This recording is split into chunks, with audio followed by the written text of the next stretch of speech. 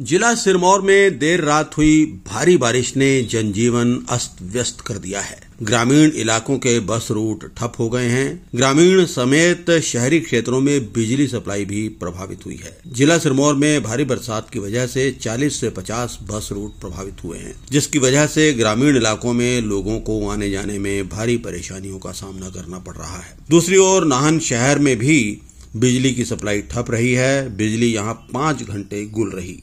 नाहन बस अड्डा के प्रभारी अनिल कुमार ने बताया कि भारी बरसात के क्रम के कारण नाहन शहर में बस सेवा प्रभावित हुई है। 15 से 20 बस रूट ठप हो गए हैं। नाहन से शिमला को जाने वाले हाईवे पर भी दो घंटे से ज़्यादा यातायात बंद रहा। कई बस रूट आधे रास्ते तक ही चल पाए। इसके अलावा पाउंटा साहब, शिलाई, रेणुका समेत कई इलाकों में बसें नहीं चल पाई। आज सुबह से ही लगभग बहुत तेज बारिश हो रही है, जिसके कारण लगभग हमारे अब तक 15 से 20 रूट प्रभावित हो चुके हैं। बसें लगभग आधा आधा रूट पे जा रही हैं, उससे आगे हम अपनी बसों को ट्रांसमिट कर रहे हैं।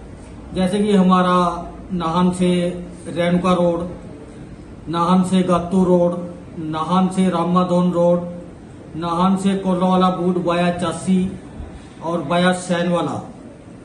यहाँ तक कि नाहन से शिमला रोड भी लगभग दो घंटे के करीब बंद रहा।